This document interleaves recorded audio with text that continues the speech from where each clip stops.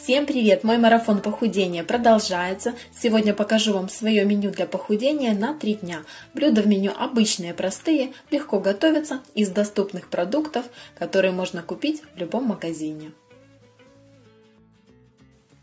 У меня сегодня 11 день марафона, и сегодня на завтрак я решила приготовить сырники. Сырники буду готовить сразу на 2 дня. На двойную порцию беру 400 грамм рассыпчатого творога 5% жирности. Для сырников я в основном беру рассыпчатый творог. Более сухой и сырники лучше держат форму с небольшим количеством муки. В творог добавляю 2 яйца, хорошо все перетираю, Добавляю муку, у меня смесь рисовая и кукурузная. Всегда добавляю немного кукурузной муки, тогда сырники получаются красивого цвета. Добавляю немного сахарозаменителя, у меня фитпарад номер 10. Все хорошо перемешиваю и формирую сырники среднего размера.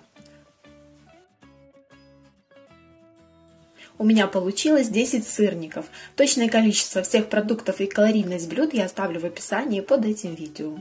Сырники буду жарить на сухой сковороде без масла на среднем огне под крышкой. У меня хорошая антипригарная сковорода и сырники прекрасно жарятся без масла. Когда сырники подрумянятся, переворачиваю и жарю до золотистого цвета под крышкой на среднем огне до готовности. Смотрите, какие румяные сырнички получились. Можно сырники запекать в духовке, но мне привычнее жарить на сковороде, так как жарю без масла, это тоже совсем не вредно. У меня получилось две порции сырников, половину съем сегодня на завтрак, а остальное оставлю на завтра. И на завтрак у меня сегодня 5 сырников и кофе с молоком без сахара. Молока я добавляю 50 грамм. После завтрака я еще обязательно выпью комплекс витаминов и минералов и омега-3. Когда я занижаю свою калорийность, я всегда пью витамины и минералы и омега-3. Пью курсами через месяц. И между каждым приемом пищи всегда пью воду, стараюсь выпивать хотя бы по одному стакану воды. Бывает и больше. На перекус 2 крупных киви и грецкие орехи 30 грамм. Сначала съем киви, а потом буду есть орешки и запивать их чаем.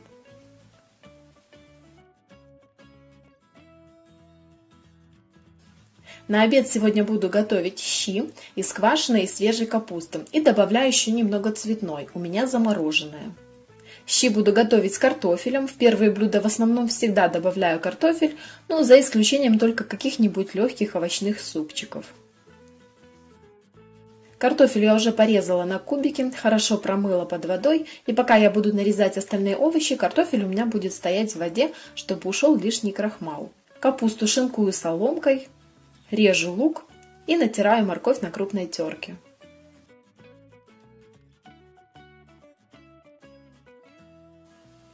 Большие соцветия цветной капусты разрезаю напополам. Щи буду готовить на курином бульоне. Пока я подготавливала все овощи, у меня уже сварилось мясо и мой бульон готов. Мясо достаю. Бульон варила на куриных бедрах. Бедра отдам мужу и ребенку. У меня сегодня будет другая еда. В куриный бульон кладу все овощи, только не добавляю цветную капусту, она быстро варится, я ее добавлю в конце варки. Я ничего не зажариваю и без зажарки получается очень вкусно.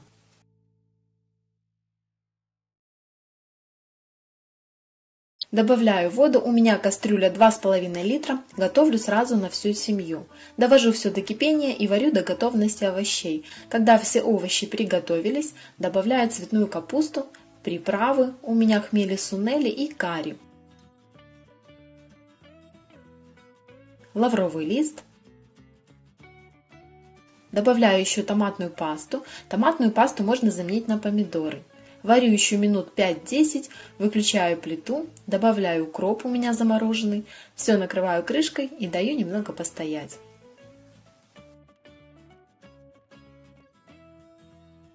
Пока готовились щи, я этим временем отварила овощи. У меня мексиканская смесь овощей, мне удобнее отваривать. Можно приготовить на пару, это уже по желанию. Я наварила сразу много овощей, чтобы мне хватило на несколько дней.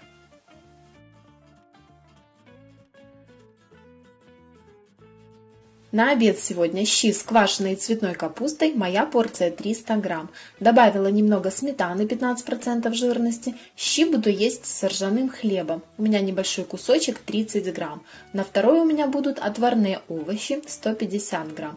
В овощи добавила еще немного сметаны 15% жирности. Точный вес всех своих порций я оставлю в описании под этим видео. Вот такой вот у меня сегодня обед, вкусный и полезный. На ужин сегодня буду готовить куриную запеканку. Куриное филе режу на мелкие кусочки. Мне больше нравится, когда филе нарезано мелко. Тогда запеканка получается намного сочнее. К филе добавляю сушеную паприку и черный перец, солю по вкусу и даю немного постоять промариноваться. Пока филе будет стоять мариноваться, я этим временем порежу помидоры кружочками и сделаю заливку. К яйцам добавляю сметану, солю по вкусу и все хорошо взбиваю.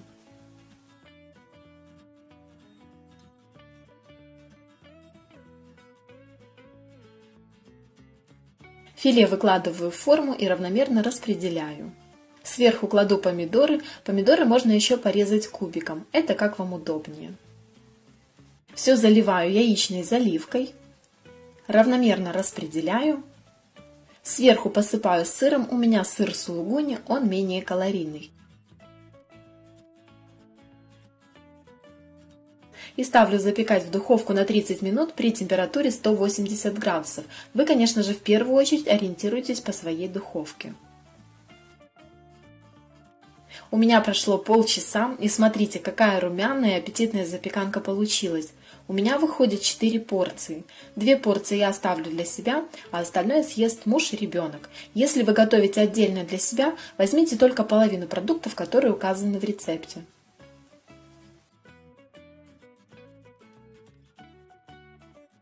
На ужин сегодня куриная запеканка, моя порция 250 грамм. Запеканка очень вкусная и сытная. После такого ужина вы долго не захочете ничего есть и легко продержитесь до утра. Чуть позже попью еще черный чай без сахара. И на сегодняшний день это мой последний прием пищи, и больше я есть ничего не буду. Буду пить только воду или чай, без сахара и сахарозаменителей.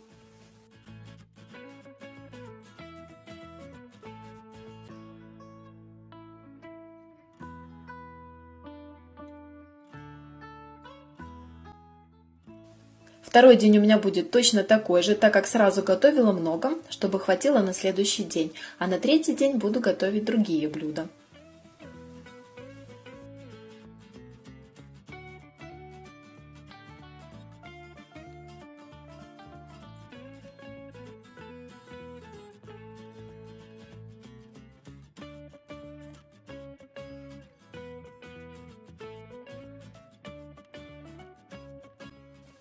На завтрак сегодня буду готовить белковый омлет. Мне понадобится 100 грамм творога 5% жирности. В творог добавляю 2 яйца.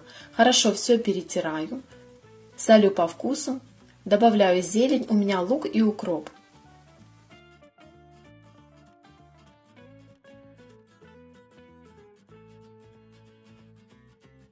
Омлет буду жарить на сухой сковороде без масла на среднем огне под крышкой.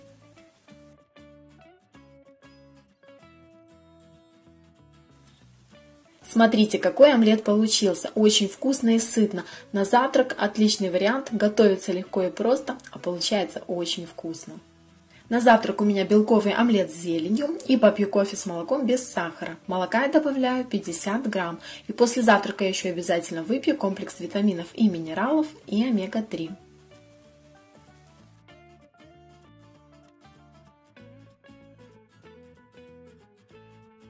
На перекус 2 крупных киви и грецкие орехи 30 грамм. Сначала съем киви, а потом буду пить чай вместе с орешками.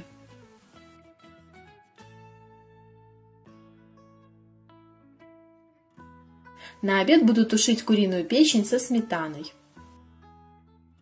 Печень режу на средние кусочки. Режу лук.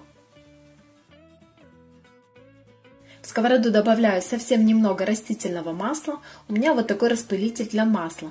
Очень удобно. Несколько распылений и всего лишь 1-2 грамма масла. И буду пассеровать лук. Когда я пассерую лук, я всегда добавляю совсем немного масла.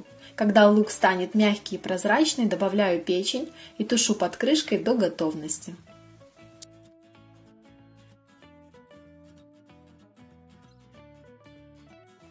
В готовую печень добавляю сметану, черный перец, лавровый лист, солю по вкусу и еще тушу минут 5, и печень готова.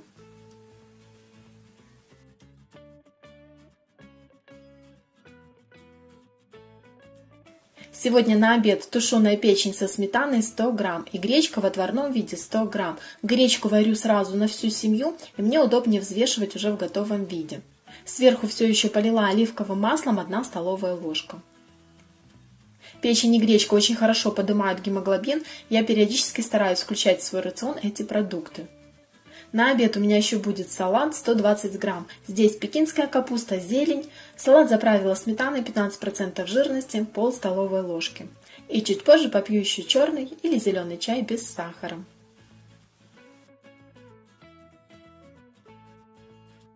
На ужин тоже будет тушеная печень 100 грамм. С печенью буду есть отварные овощи со сметаной 200 грамм. И чуть позже попью еще черный или зеленый чай без сахара. И на сегодняшний день это мой последний прием пищи. И больше есть ничего не буду. Буду пить только воду или чай без сахара и сахарозаменителей. На 14 день марафона по плану разгрузочный день. И в понедельник обязательно будет отчет по весу. Подведу общий итог моего двухнедельного марафона похудения. Буду очень рада, если вы мне поставите лайк. Обязательно пишите комментарии. Ваши отзывы – это лучшая награда для меня. И всем до скорых встреч!